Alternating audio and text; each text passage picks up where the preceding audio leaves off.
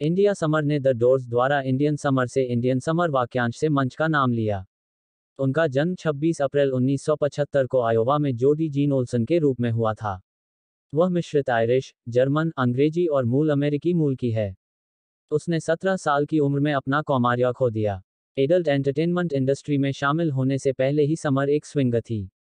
भारत ने पहली बार स्पष्ट कट्टर फ़िल्मों में दिसंबर 2005 में प्रदर्शन करना शुरू